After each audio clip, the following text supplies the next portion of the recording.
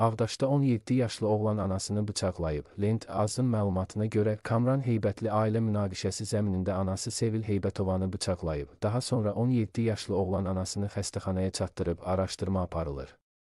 Hadisəni törətməkdə şübhəli bilinən yetkinlik yaşına çatmayan şəxs saxlanılıb.